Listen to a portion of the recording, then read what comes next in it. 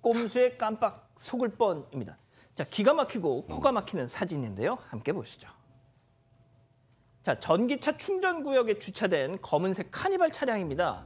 자, 주유구 쪽에 보니까 어, 케이블이 연결돼 있어요. 그러니까 이게 충전 중인가 싶었는데 잠깐만. 카니발이 전기차가 나왔다고? 그럴 리가. 그럴 리가.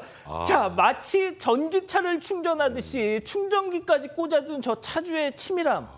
기가 막힙니다. 왜, 왜 저러고 살아요? 저도 속았을 것 같아요. 예. 아 카니발이 전기차가 나왔구나. 나왔구나. 하이브리드 나도 나왔구나. 사야지. 예. 그런 생각을 했을 것 같은데 원래 다 아시겠지만 전기차 충전 구역에는 일반 차량은 주차하면 안 됩니다. 그렇게 되면 일단 어, 10만 원의 과태료가 부과가 되는데요. 지금 아마도 저기에 주차를 하긴 해야겠는데 음.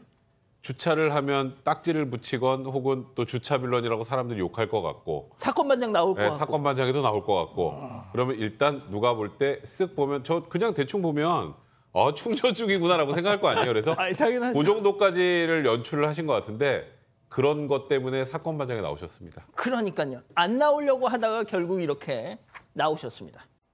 가족 여러분, 잊지 마시고 구독과 좋아요 알림 설정 여기. 여기